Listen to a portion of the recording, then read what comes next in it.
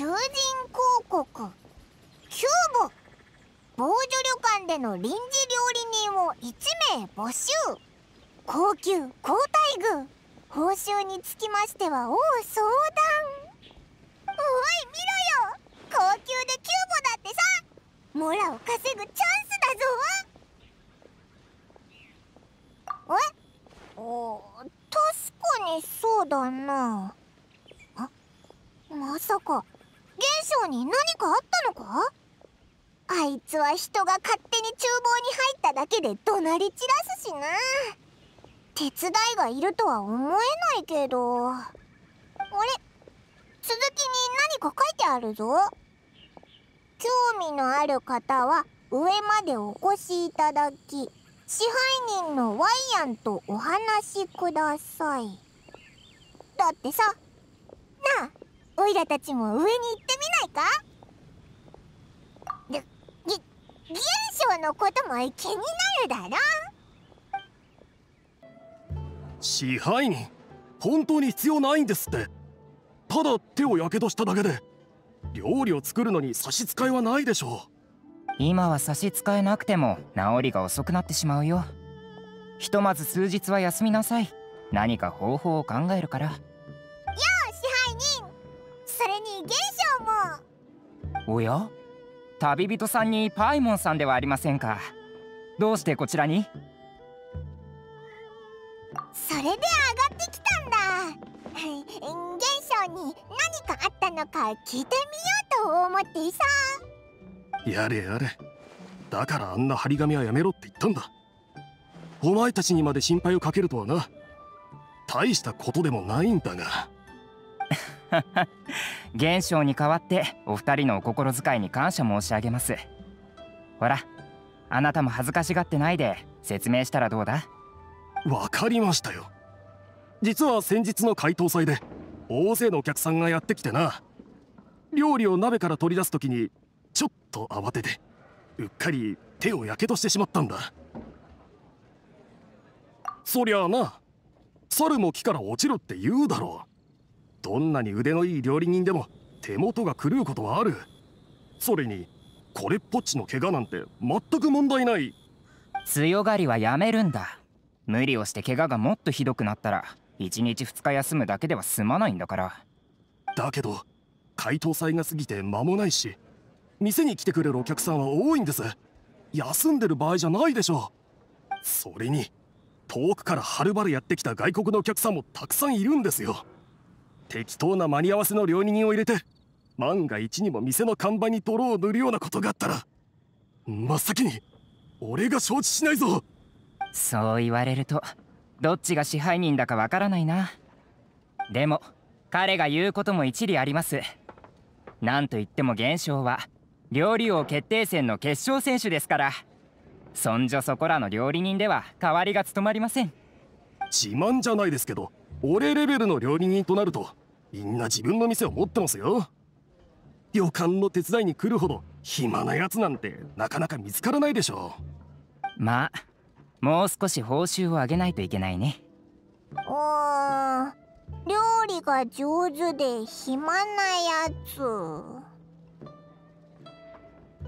あそれってお前じゃないか。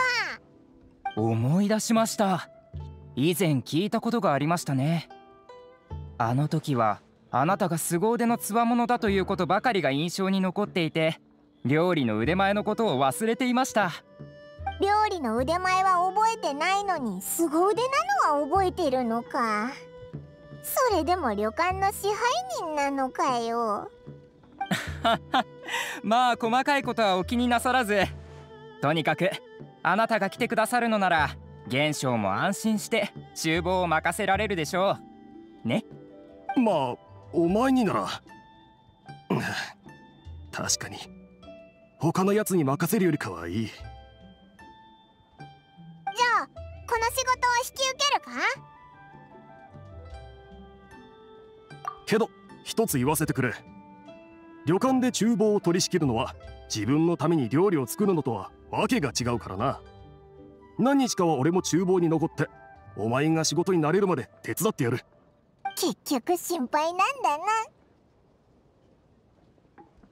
支配人店にまだ使ってない調理器具があったはず。あれは？ああはいはい。今すぐ準備してこよ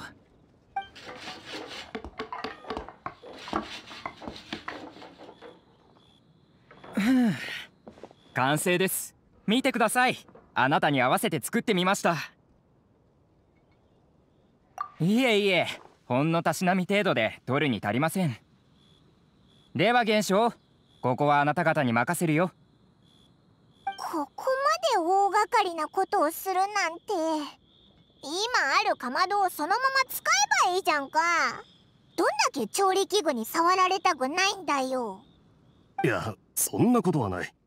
オーナーは人を使う以上は疑わない。疑わしければ使わないと言っていた。俺はただ今のかまどはお前にとってその少し高さがあると思ってな。さっきも言っただろう。旅館で厨房を取り仕切るのは自分のために料理を作るのとは訳が違うって。色香り味にこだわるだけではなく速さ正確さそして安定感が必要なんだ。例えば自分に合わないかまどで一日中料理を作っていると疲れて腕や背中が痛くなるばかりか料理を出すスピードが遅くなってしまう。すると待っている客もイラつくだろう。だからこそ調理器具はきちんと準備しておかなければならない。それが速さだ。正確さと安定感ってなんだ？正確さとは正しく見極めることだ。肉塊のどこに包丁を入れるか油をどのくらい使うかそして鍋からいつ料理を取り出すか。自分のために料理をするなら様子を見つつ水が多ければ塩を足し塩が多ければ水を足すといった具合に味を調整できるが旅館の厨房ではそんな試行錯誤してる猶予はない。もし本当に失敗したらオイラが片付けてやるよ。ひひ最後の安定感はどんなに意地悪な注文でも確実に応えなければならないということだ。特に各地からやってくる味の好みが異なるお客さんをもてなすためにはもともとの食習慣に気を配るだけでなくご当地料理を味わいたいという気持ちも考慮しなければならない。おーい最後のはかなり難しそうだな。大丈夫だ。旅人はいろんな場所を渡り歩いてきたんだろう。実際にやってみたら俺よりうまくできるかもしれん。それに数日は俺も厨房に残って助ける。きっとお客さんの一人一人が我が家に帰ってきたように感じるおもてなしができるさ。ぐずぐずしてはいられない。早速やってみよう。基本的な調理は俺が口出ししなくてもできるはずだな。気をつけるべきことはテーブルごとに注文の要望が違うことだ。ごっちゃにしないようにな。ひひオイラも覚えるのを手伝うからな。安心していいぞ。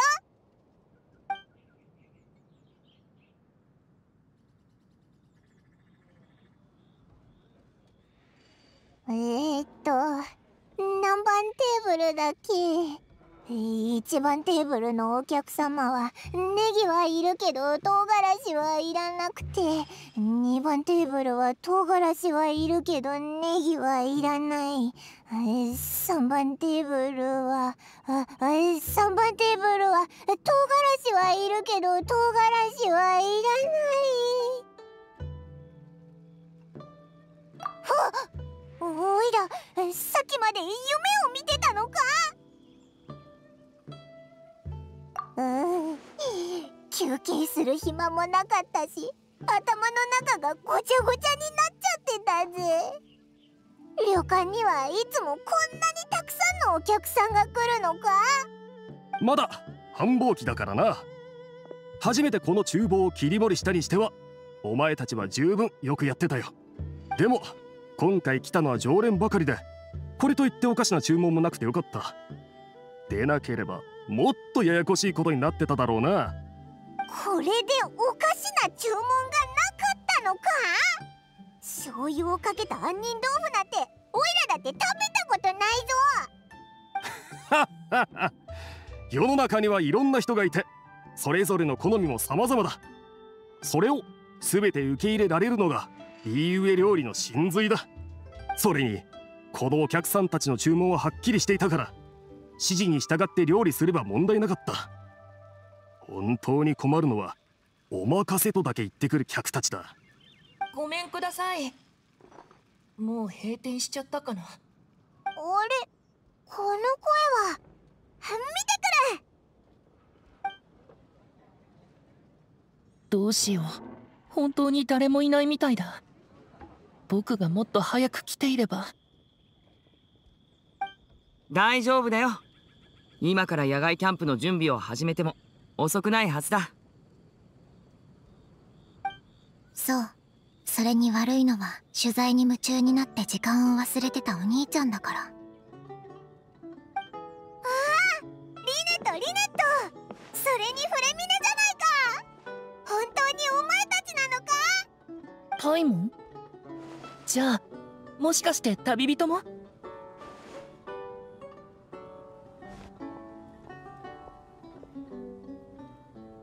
旅人にパイも。まさかここで会えるなんて。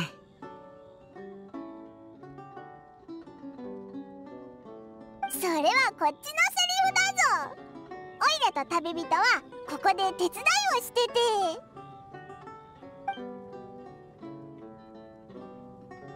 というわけなんだ。お前たちこそどうしてここに？お前たちのそのまた何かお父様からの任務があるのか？その逆だよ。僕たちは休みでリーウェに来たんだ。うん。ついでにあちこちで取材はしてるけど。お父様が言うにはここのところ僕たちはずっと忙しかったからしばらくは休むといいだろう。その方が次の任務に都合がいいって。この間回答祭があったでしょ？せっかくの機会だからってお兄ちゃんがリーウェに連れてきてくれたの。リーウェ校で面白いマジックをたくさん見たんだ。あれリーウェじゃ奇術って呼ぶんだっけ？奇術とリーユエ劇十部劇を組み合わせてやる人もいて本当に素晴らしかった。それでここにもう何日か滞在してもっとアイデアを集めようと思ってね。先日は警察層のジャクシンさんを訪ねたし今日も近くでインスピレーションを探してて。挙句に時間が経つのも忘れて今日はまだ何も食べてない。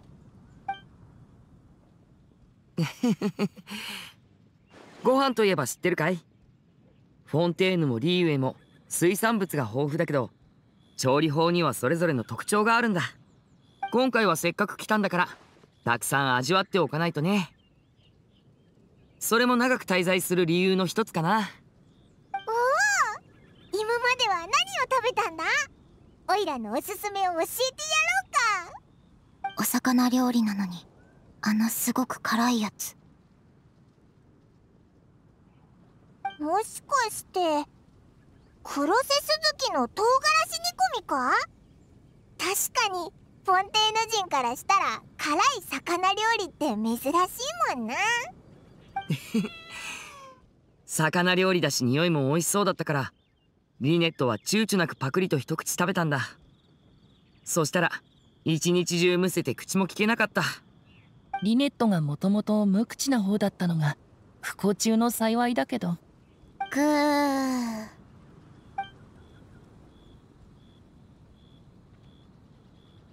お兄ちゃんとフレミネはお腹空かないの？うん。ちょっと空いてる。それもそうだね。じゃあ旅人料理をお願いしていいかい？メニューの名前を見ただけじゃどんな料理かわからないしせっかく君がいるんだからおすすめをもらおうかな僕たちの味の好みはわかるでしょ？あとお願いだから唐辛子は入れないで。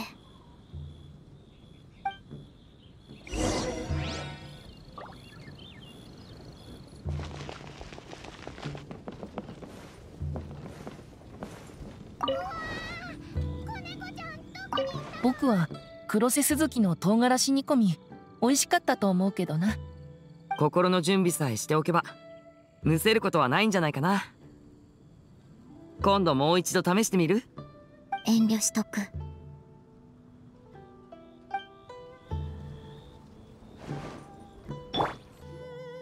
なるほど。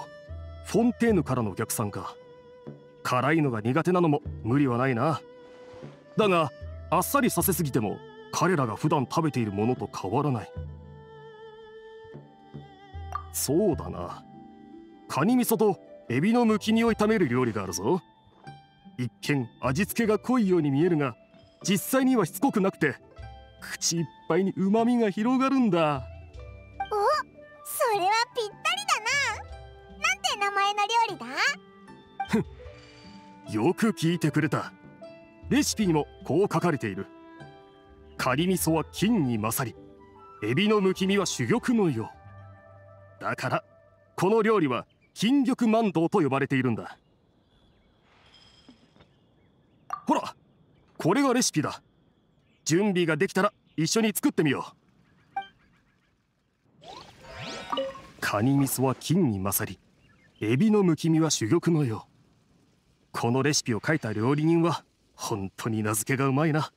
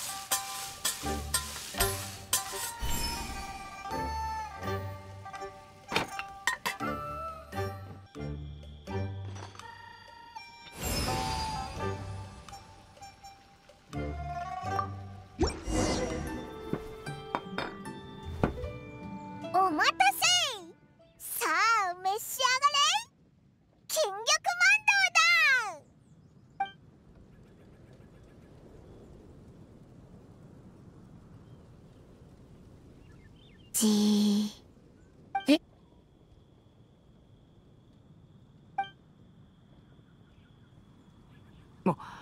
そういえば旅人とパイモンも今日はずっと忙しかったんでしょ？一緒に食べない？そう言われるとえちょっとお腹が空いてきたな。いひじゃあお言葉に甘えて。そう、そうだな。何しろ今回はお前たちがお客さんなんだから。あれ？どうして食べないんだ？見るからにタレがこってりしててうまそう。リーユへのテーブルマナーでは弟の僕が先を譲るべきだから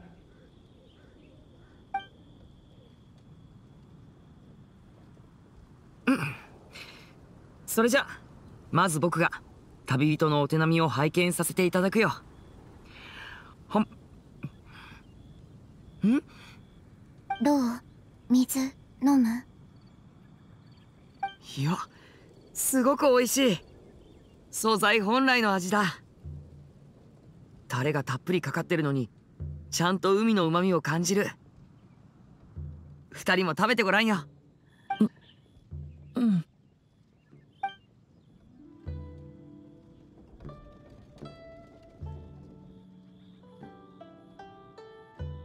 この味もしかしてカニ味噌？大正解だ。さすがリネットだな。通りでエビの味とうまくマッチしてるわけだ。こんな料理もあるんだね。へへん。この料理のこだわりはエビにカニを加え新鮮さにうまみをプラス柔らかくプリップリのエビにねっとりとしたカニ味噌が重なり味も香りもよく食感も抜群。カニ味噌は金色に輝きエビのむき身は透き通る玉のよう。だからこそ金玉マンドって美名があるんだ。なるほど。この名前にはそんな由来が。確かにぴったりだ。変だな。パイモン？いつからそんなに物知りになったの？この料理は口に合うと思うよ。リネット。ってあれ？金玉マンドが半分しか残ってない。いつの間に食べたんだよ。リーウェではシェフに対する最高のお礼はたくさん食べることだと聞いたから。すごく美味しいわ。ありがとううわあみんなで早い者勝ちみたいに食べ始めんなよおいらの分も残してくれ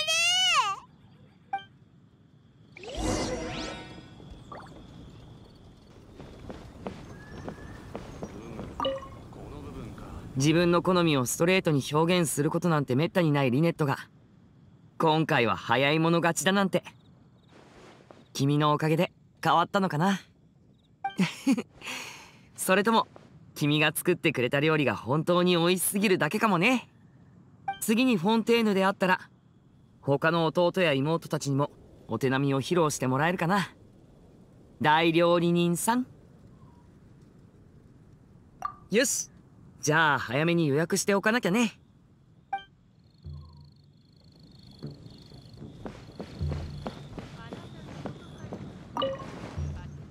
お箸がやっとまともに使えるようになった。うん。リネとリネットは手先が器用だからリーユエに来てからすぐに慣れたんだけど僕は最近やっとうまく使えるようになって。そういえばリーユエにはお茶碗やお箸を使った技術もあった。マジックの助手を務めるにはこういう練習も欠かせないよね。エネルギー補充型消化モードオン。うん。普段は体型を保つために私もお兄ちゃんもあまり食べないようにしてるの。マナーを考えて食卓でも控えめにしてる。でもたまには家族の前で好き勝手するのも悪くない。もしお兄ちゃんとフレミネが譲り合うのを待ってたら料理はとっくに冷めてた。友達は満足してくれたか。見事なもんだ。始めてまだ1日なのにこれほどとは。この次も頼んだぞ。